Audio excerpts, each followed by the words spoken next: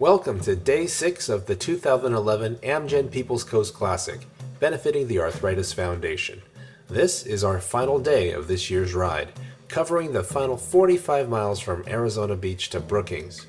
We're encouraging all riders to get into Brookings as early as possible so that we can get everyone back to Portland on the motor coach after our finish line ceremonies. As such, there will be no midday check in, and we're recommending riders to hit the road early today.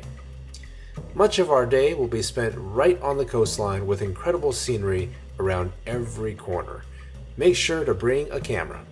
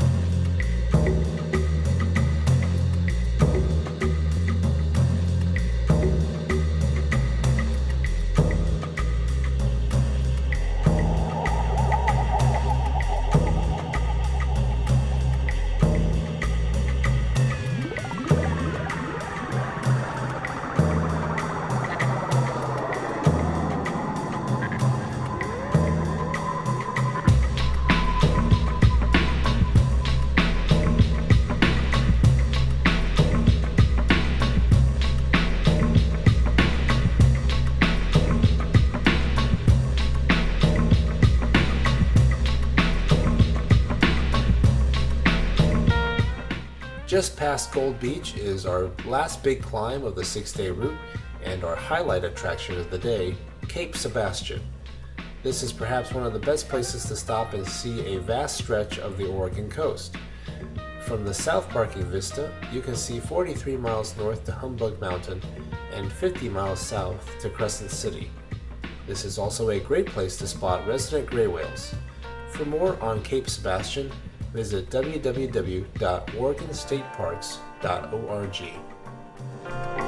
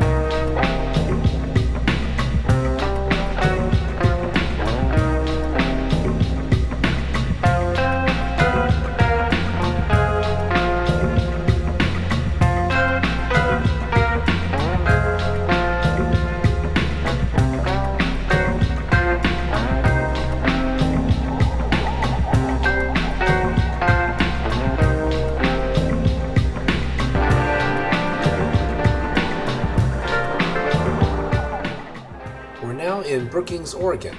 As you make your way through town towards the finish line, make sure to ride safely in traffic.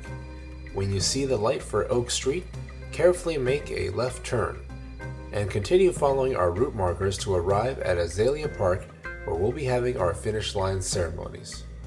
We'll be handing you a finish line medal and Gina will be serving an incredible lunch befitting of your 370 mile trip down the Oregon coast. Showers will be available. As soon as riders are ready to get on the motor coach, we'll be whisking everyone back to Portland. Gina will also provide a sack lunch for the trip back to Portland Union Station. Some of our riders won't be joining us back to Portland. They'll be heading south to head home or connect with our sister event, the Amgen California Coast Classic. That's it for this year's Amgen People's Coast Classic. If you had a great time, then make sure to mark your calendars for next year's ride on September 9th through 14th. On behalf of the Arthritis Foundation's Great West region, thank you for your support of this event and our mission to improve lives for 50 million people in the United States.